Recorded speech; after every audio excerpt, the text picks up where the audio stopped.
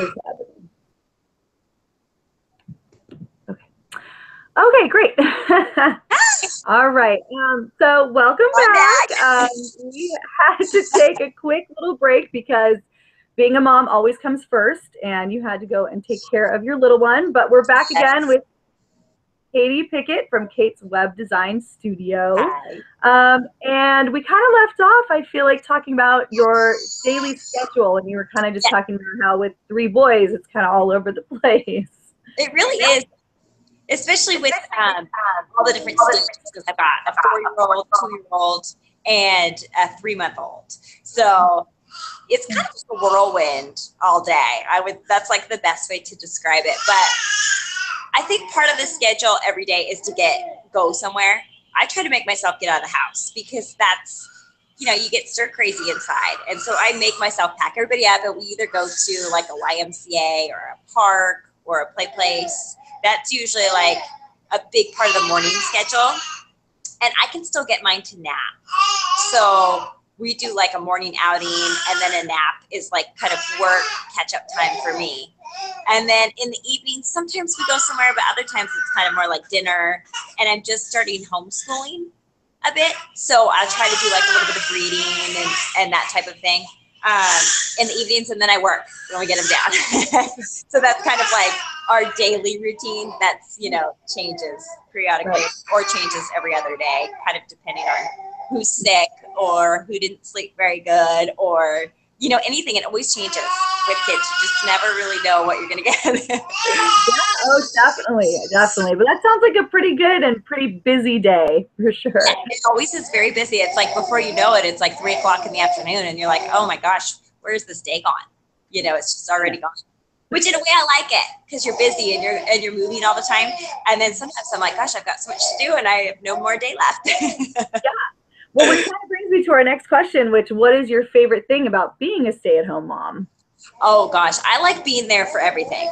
I'm there for all the games. I'm there for the, you know, you're just you're always a part of everything they're learning, everything they're realizing. So you really get to be involved with that. And I just I just like to experience everything with them. So I can really kind of understand and um, help them through things and just always be a part of it. I think that's probably my favorite piece of being at home is you just don't feel like you're missing anything because it's going to go by so fast. And Mhm. and that's the biggest thing that I appreciate about being able to be home um, with the kids. Yeah, that's so wonderful. So I, I completely agree with you, 100%. Even though sometimes you're like, maybe I want to leave for a little while, but ultimately you just don't you don't want to miss anything. Mm-hmm. And um, and so that's like, yeah, I just wouldn't trade that for anything. Oh, definitely. I agree. So, Yeah. um, but we all know it's not all just like, you know, rainbows and unicorns. So, um, Right. what, what kind of things do you struggle with as a stay at home mom? I think all the um, now that I've got toddlers talking, it's all the talking, whining, the noise all day long. Mm-hmm. I think it's been the hardest thing for me recently because it's like they are just constantly in my ear on me. And when you have two of them talking and whining and fighting, it's all the noise where I'm like, I just need to like go hide somewhere where, where it's quiet for a little bit because you can't think very well. You can't like think through a whole thought process mm-hmm. before completely being interrupted all the time.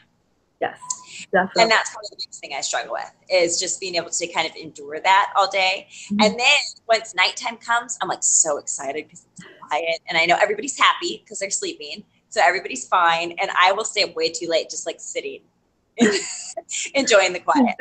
yes, the peace and quiet. I totally hear you. I'm in the toddler stage too. Um, Yes.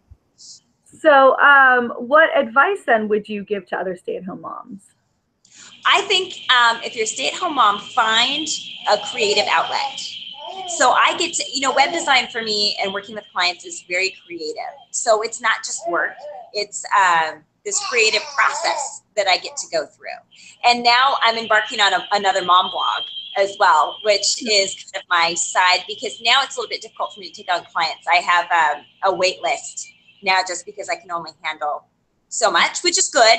Um, but you know, I, you also need to find something that's creative for you. And if you can make money doing it, it's always helpful. But even if you don't, to have a creative outlet that you look forward to, that you can even just kind of, if it's knitting, if it's painting, it could be anything that you can just kind of do at night at home or while the kids are napping.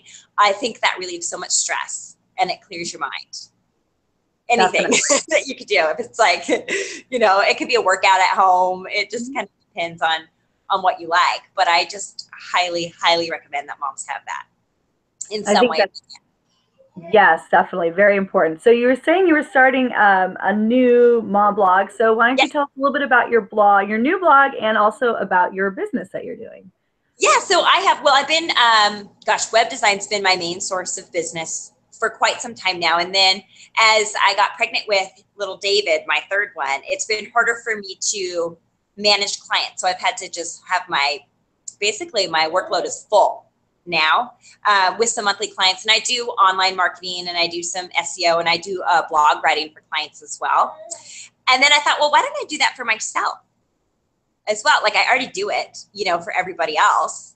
And um, and I really enjoy writing because that I have a bachelor of arts in communication, so the writing and marketing and all of that is right at my alley. So now I fit in my blog as like my extra little creative piece. And the reason I like doing a mom blog is I can just kind of spill the beans on being a mom, and you feel a lot better when you can just kind of write some stuff out and um, and get it out there.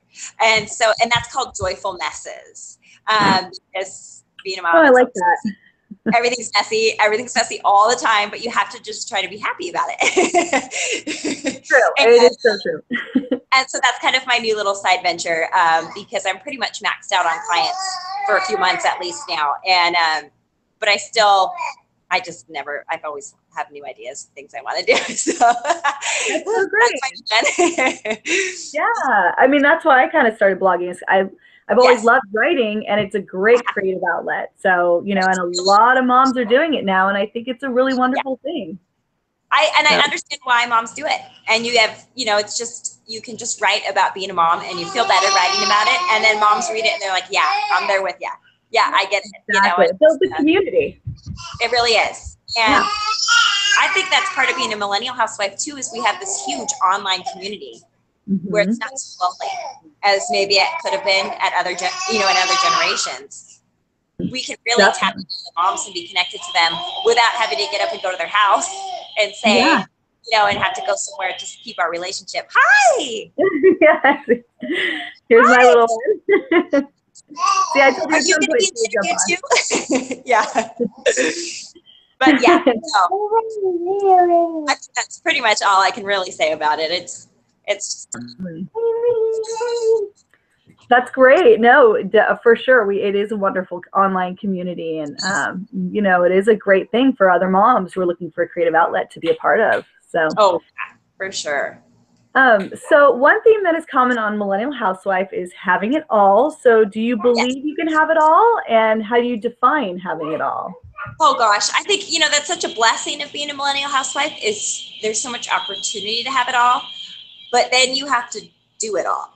And sometimes it's the idea of I can do this and I can have my business and I can have my kids and then I can provide and then I can do you know and it's all very like oh wow that would be great if I could just do everything but then when it comes to doing it all day every day I think it's easy to kind of max yourself out um, and you don't realize it because you think you're pursuing these things that are really great and we have so many opportunities. It's like why not take them and why not take this opportunity to work from home? And why not create this business? And why why not do it if i can? But um, i think we have to be careful that we don't do too much in an effort to have it all if that makes sense. And i think just being a mom you have it all.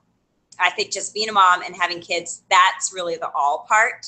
And then if you want to try to do a little bit more um, power to you, you know. But have, being a mom is real, and having your kids is really, I think, everything. And then everything else is just a little frosting on top. yeah, I think that's very, very well said. I love that. Being a mom is having it all, and then everything else is like, you know, the frosting. Yeah, like sprinkles or frosting, anything else that you could do, but it should never be the all. I think your kids and your relationships is the all part. Mm-hmm. Um, and we're yeah. lucky that we can. Yes, very well said. I love that. That's great. Um, so tell us where we can find you online. Oh gosh, well, you can keep up with me. Uh, my blog is joyfulmesses.com. So you can find that. And that's where you can probably keep up with a lot of my writing. Um, I do a lot of pictures and fun things there. And then my um, website portfolio is kateswebdesignstudio.com. That's not as active now because I'm pretty um, overloaded with work on that one. But that's where you can kind of check some of that stuff out. But the blog is probably more fun to keep up with now just because I updated it a little bit more. okay, great. Are you on um, on Instagram or social oh, media? Oh, yes, Instagram is Joyful Messes. So you can find me there. Um, I have a Facebook page that's Joyful Messes also. So you can search that up and find that. Um, and Instagram and Facebook are the main places that I'm. I'm not too much of a Twitter person yet. I know I'm supposed to be, uh, but it's just not my thing I got to look into it a little bit more and try to get excited about it. Yeah. but I like Instagram's my favorite because I love pictures. So. Great. Yeah. Yeah. Pick your battles. I mean, stick with the Instagram and Facebook first. I think that's great. Yes. There's only so much that you can do. exactly. So I'll go ahead and put all of those links on um, on my blog and on the website. Um, okay. And I just want to say thank you so much, Katie, for for having you here today. It was really wonderful and you know, I'll let you get back to your your brand new beautiful little baby over there. Oh, so yeah, thank you for your patience. I'm glad I could get back on. it all worked out. It was perfect. So thank you so so much for being here. Thank you. Okay.